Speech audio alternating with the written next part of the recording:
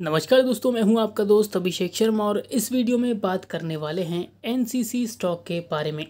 तो शुरू करते हैं आज के 15 मिनट चार्ट की अगर मैं बात करूँ तो यहाँ पर तेज़ी हमें देखने को मिली है। सेवेंटी फोर रुपीज़ सेवेंटी पैसे पर ट्रेड करता हुआ स्टॉक नज़र आ रहा है। वहीं थ्री आवर चार्ट की अगर मैं बात करूँ तो यहाँ पर भी एक शानदार रैली देखने को मिल रही है। अगर यही तेज़ी बरकरार रहती है तो आने वाले कुछ ट्रेडिंग सेशंस में नेक्स्ट टारगेट स्टॉक अचीव कर सकता है। Seventy seven rupees eighty rupees तक के जो टारगेट्स हैं, वो जल्द ही अचीव होते हुए हमें नज़र आ सकते हैं।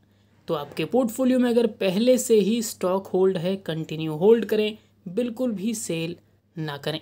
और यहाँ पर एक बाइंग का भी शानदार मौका बना हुआ है। तो बिल्कुल यहाँ पर एनसीसी में बाइंग बनती है।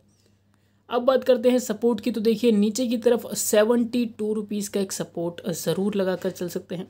गिरावट आती है, ये सपोर्ट अगर ब्रेक होता है तो और निचले लेवल भी देखने को मिल सकते हैं। तो सपोर्ट का ध्यान रखें, स्टॉप लॉसेस ज़रूर लगा कर चल सकते हैं। तो यही बताने के लिए हमने वीडियो बनाई थी।